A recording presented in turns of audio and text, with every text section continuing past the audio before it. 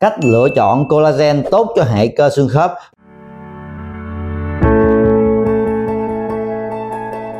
Collagen lấy từ viết tắt của tiếng Hy Lạp là keo và tác dụng chính của nó cũng giống như cái tên của nó tức là nó giúp gắn kết các phân tử rời rạc lại với nhau. À, collagen có mặt ở khắp trên, nơi trên cái cơ thể chúng ta, da, lông, tóc, móng, mô liên kết ở sụn khớp, mạch máu.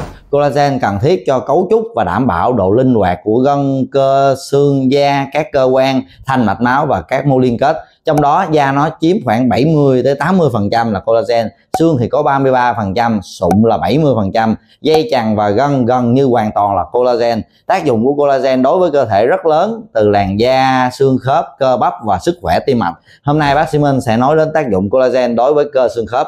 Sụn khớp là một cái thành phần quan trọng trong cái cấu tạo của các khớp xương và có bản chất giống như một cái mô trong suốt vừa cứng, vừa dẻo và có độ đàn hồi tốt. Collagen giúp duy trì tính toàn vẹn của sụn. Đó là giống như một cái cao su đó, bảo vệ cái mặt khớp của chúng ta. Khi lượng collagen trong cơ thể bạn giảm đi theo tuổi tác thì nguy cơ mắc các bệnh lý về thoái hóa khớp nó sẽ tăng lên.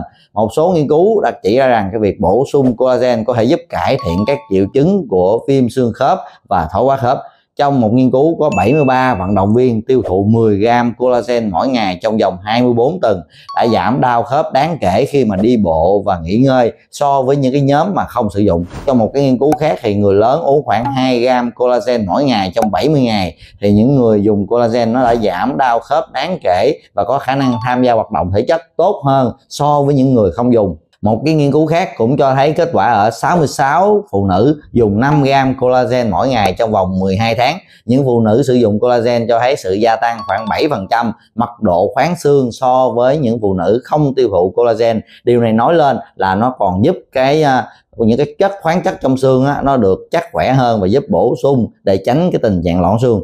Chính những điều này nên cái việc bổ sung collagen cho người lớn tuổi đối với có bệnh lý cơ xương khớp đó nha thì cực kỳ quan trọng. Tuy nhiên không phải collagen nào cũng không giống nhau và không phải tất cả collagen đều tốt cho khớp. Do đó cái việc chọn lựa collagen nó hết sức là cần thiết và quan trọng và sẽ có những cái công thức đặc biệt được nghiên cứu dành riêng cho sụn khớp. Ví dụ như là cái collagen 40 gel à, đây là một cái loại collagen đến từ tập đoàn Wiris rất là nổi tiếng của Đức. Nó bao gồm các thành phần như là collagen peptide, chiết xuất nụ tầm sưng và vitamin C. Và loại collagen này có rất là nhiều nghiên cứu chứng minh hiệu quả trên sụn khớp. Bây giờ mình sẽ đi vào những cái nghiên cứu nha.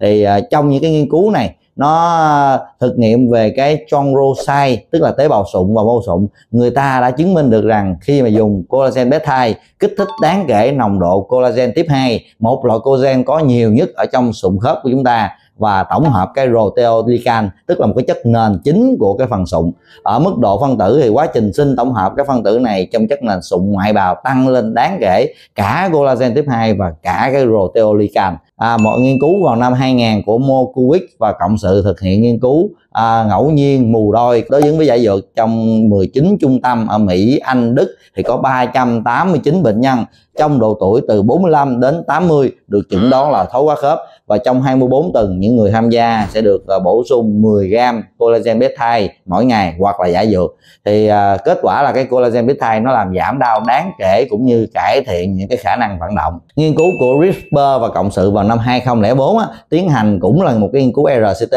tức là ngẫu nhiên mù đôi có đối chứng trên 250 bệnh nhân thoái hóa khớp nhẹ. Mỗi bệnh nhân này nó sẽ được sử dụng là 10 gram cái Fortigel tức là cái collagen của hàng Wiris đó nha. Hàng ngày thì à, và hoặc là một nhóm sử dụng giả dược trong 14 tuần thì tất cả các thông số đo được đều cho thấy cái Fortirel cải thiện đáng kể so với nhóm giả dược.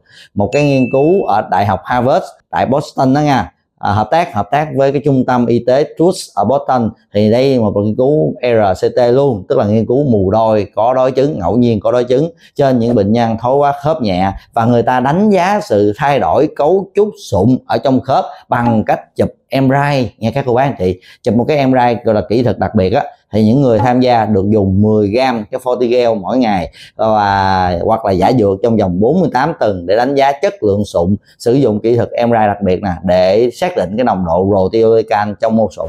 Kết quả là MRI thu được ở nhóm Fortigel cho thấy cái mật độ proteolycan trong mô sụn có xu hướng tăng lên, và với kết quả nghiên cứu này thì lần đầu tiên những cái best à, những cái collagen bé thai có uống đó nha có hiệu quả trực tiếp và hỗ trợ cung cấp dinh dưỡng cho cái việc mà phục hồi sụn đây là rất là nhiều nghiên cứu chứng minh hiệu quả của cái collagen Fortigel trên những người có vấn đề về xương khớp. Và đặc biệt là loại collagen này cũng được nghiên cứu về tính an toàn trên người tỷ lệ rất là cao và hầu như là không có bất kỳ những cái phản ứng có hại nào khi mà bổ sung nó. Rất là mong những chia sẻ này sẽ giúp tất cả các cô chú anh chị à, có thể biết được tác dụng của collagen đối với xương khớp và cách mà chúng ta chọn lựa collagen cho phù hợp.